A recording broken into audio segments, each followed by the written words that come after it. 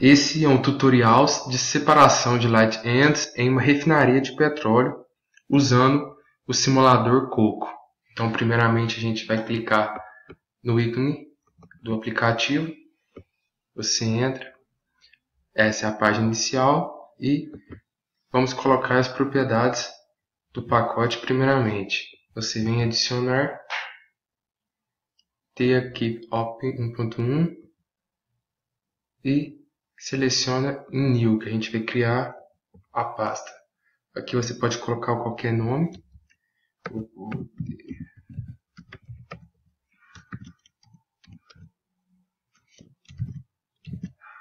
O modelo a gente vai usar de Ben Robson. E aqui a gente vai adicionar todas as substâncias que vão aparecer no processo. Etano, propano.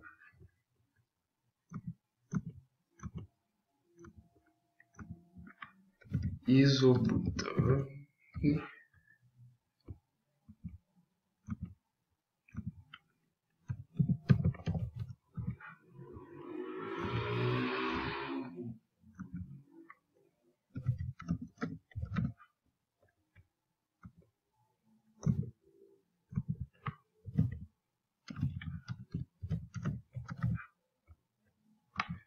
São essas seis substâncias que vão pertencer a esse processo: etano, propano, isobutano, N-butano, isopentano e N-pentano.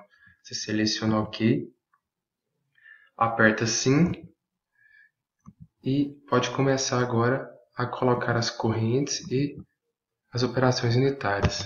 Coloca a corrente, clica duas vezes em cima dela para colocar as características dessa corrente.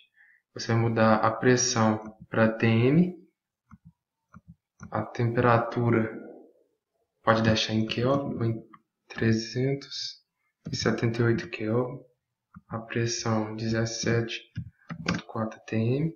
Aqui na vazão você muda para quilomol por hora e coloca 12.033. Aqui você vai colocar uma, fração molar de cada um.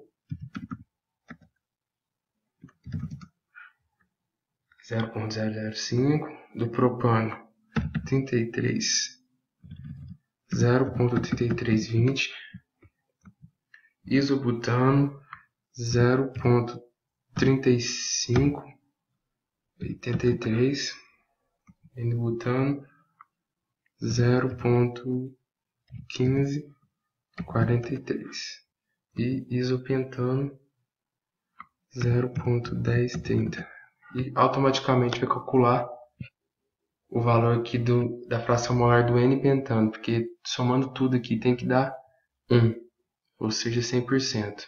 Então, a primeira corrente a gente já colocou, e agora a gente vai colocar a operação unitária de separação chamada coluna de destilação.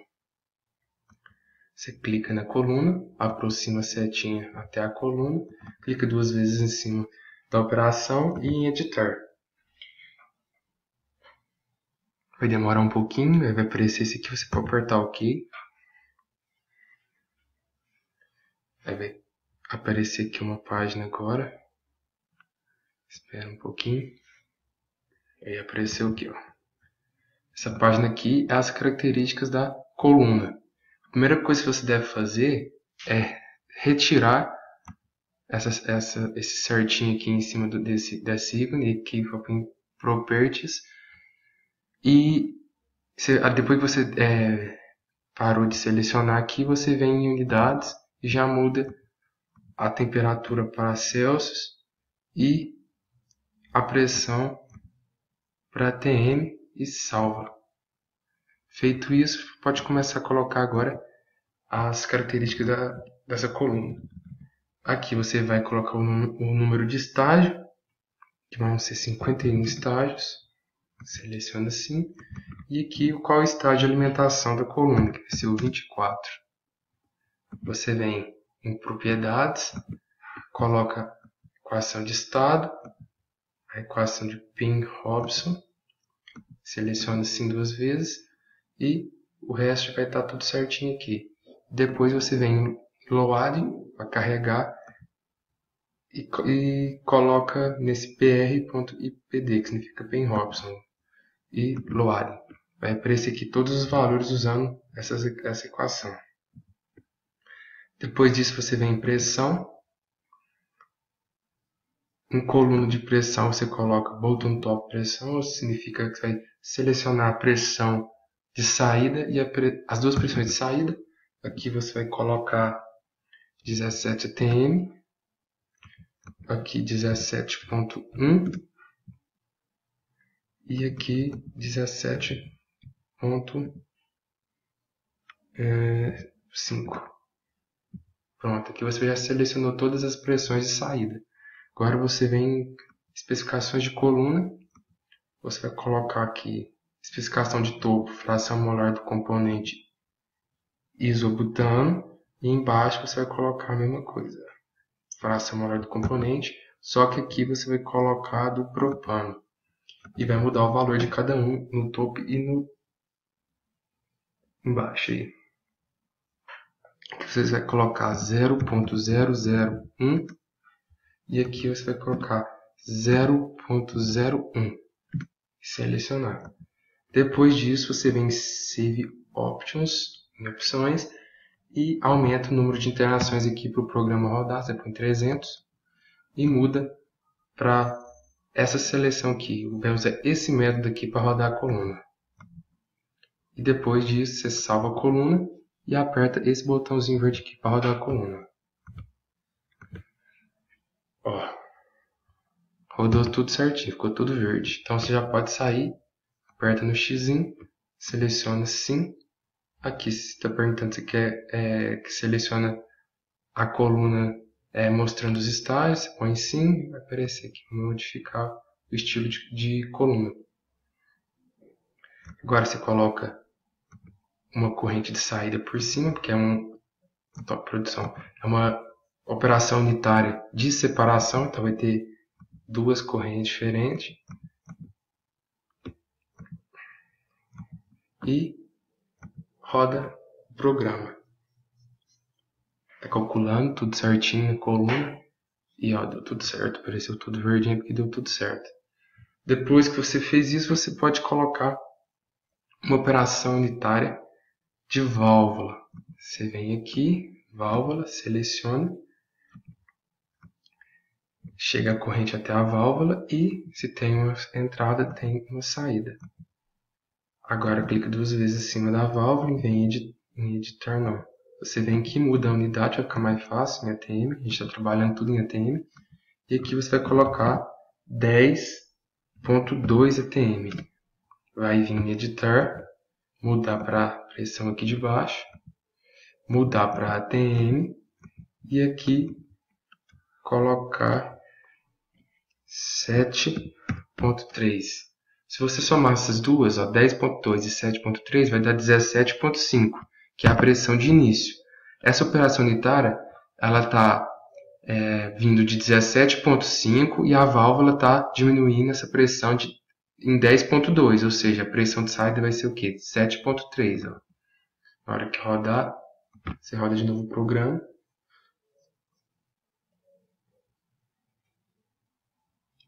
Rodou a 7.3 ATMs de pressão na corrente. Corrente 4. Você fez isso, então agora você pode colocar já a segunda coluna de destilação. Lembrando que essa coluna aqui é uma coluna de destilação simples. Ó, você selecionou, clica duas vezes em cima da coluna, vai acontecer a mesma coisa, vai fazer o mesmo processo que você fez pela coluna 1. Só vai mudar alguns valores aqui.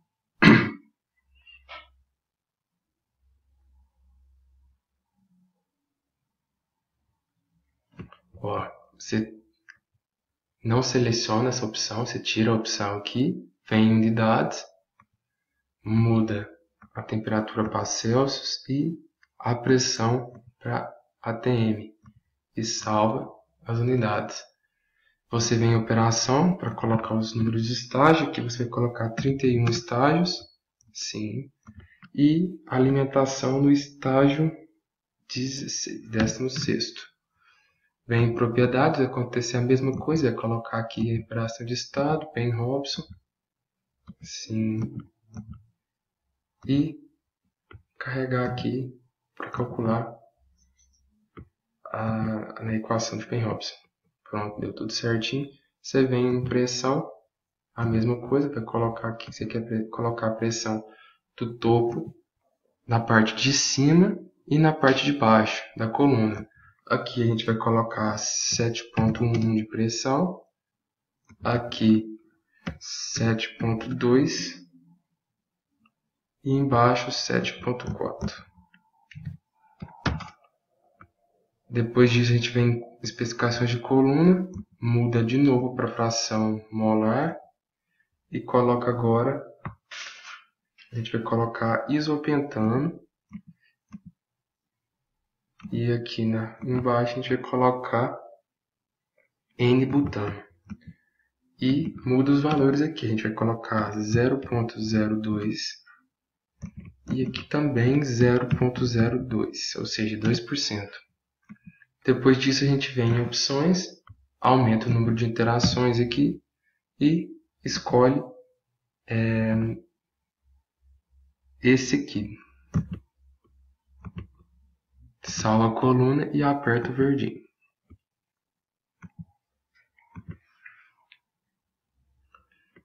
Ó, deu tudo certo, ficou tudo verdinho porque deu certo. A gente fecha, seleciona sim de novo, sim, e a coluna já está aqui.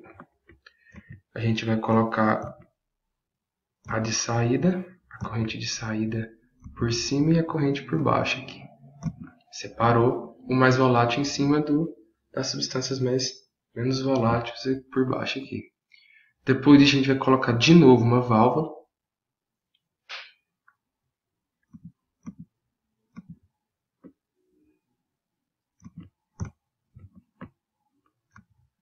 tem uma corrente de saída da válvula e com essa válvula a gente não vai fazer nada, a gente não vai modificar nada, ou seja, a corrente 5 e a corrente 7 vai ser a mesma coisa.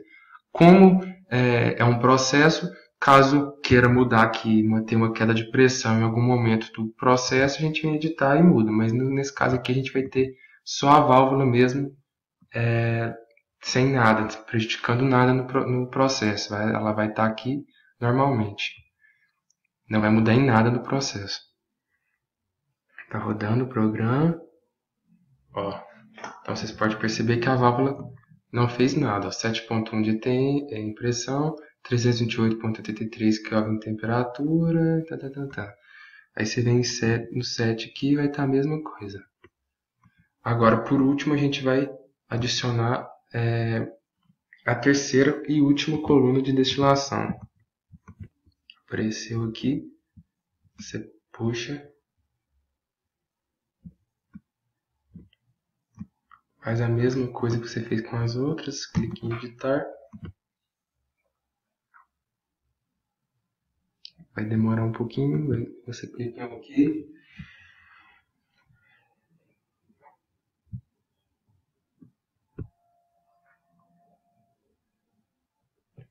vai abrir a página aqui das configurações, você não seleciona essa opção, vem em unidades, muda a temperatura para Celsius, a pressão em ATM, salva as unidades, vem em operação, que você vai colocar 81 estágios,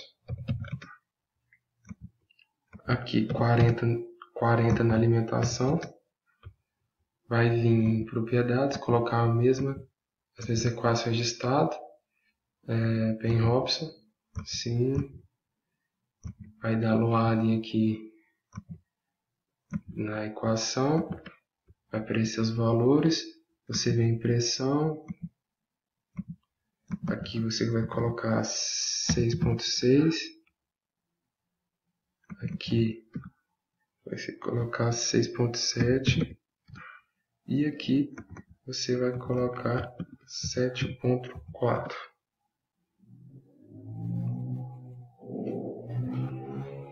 vai vir em colunas de especificações.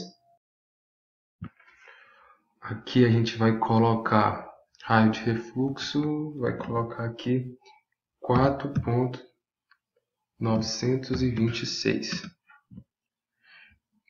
Fração molar de componente e o componente é o isobutano.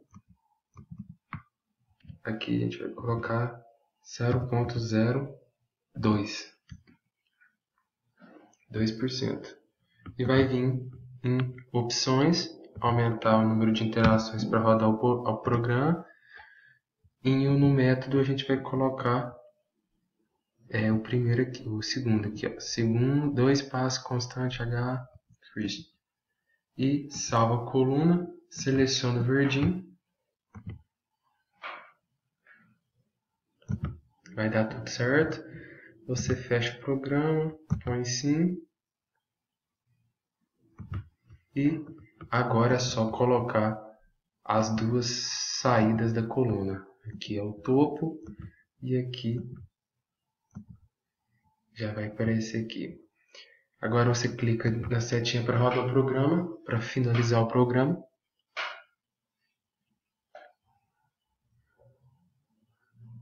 Vai demorar um pouquinho.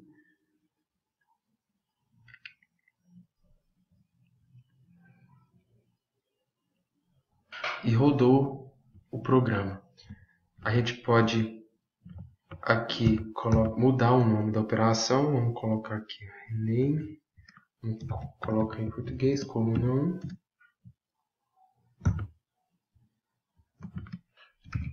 coluna 2,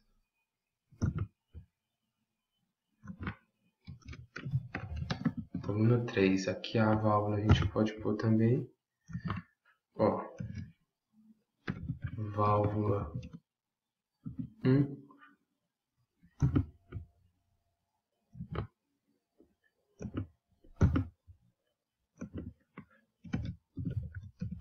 válvula 2.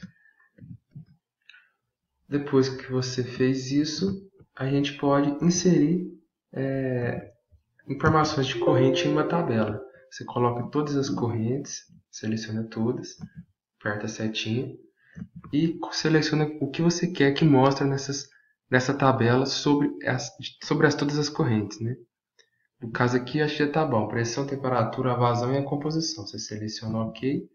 E aqui embaixo vai aparecer quadro informando as características de todas as correntes de, da simulação que a gente fez aqui. No caso, a gente tem nove é, correntes, né? Então fica bem mais fácil olhar a tabela do que localizar a corrente e clicar duas vezes para ver as informações da coluna. Aqui você já pode ver, ó, coluna, a corrente 1, você vê a pressão dela, a temperatura, a vazão e as outras coisas, que é a fração molar de cada substância.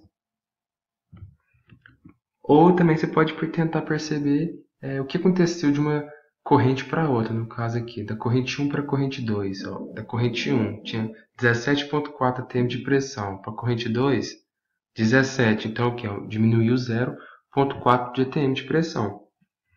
Você pode perceber que pegar a temperatura, por exemplo, a temperatura na pressão na corrente 1, 378 Kelvin, para a corrente 2, 323 Kelvin. Então diminuiu e dá para perceber bem facilmente aqui pela tabela. Não precisa ficar clicando em cada corrente para perceber o que aconteceu. Já tem todas as informações interessantes para a gente no processo.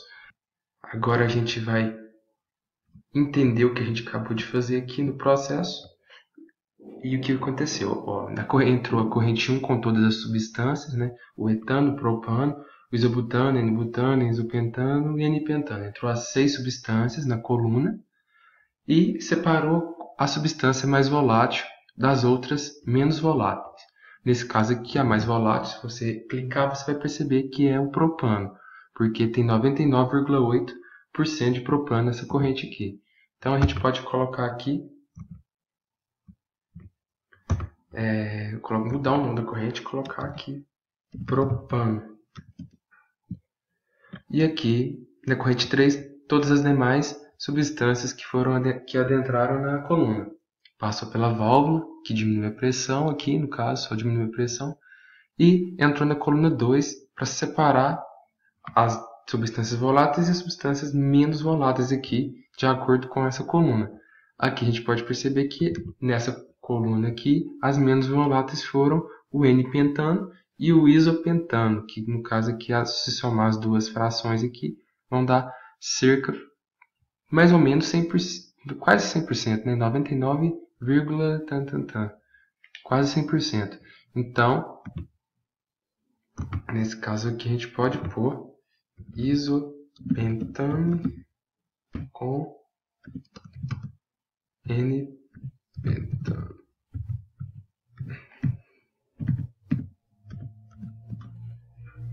E aqui continua as duas substâncias aqui, isobutano e N-butano.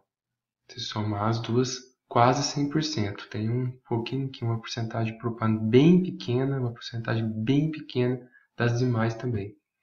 Então, entrou na terceira coluna para separar essas duas. A de cima. Então, na terceira coluna, a mais volátil foi o isobutano. 97% dele aqui.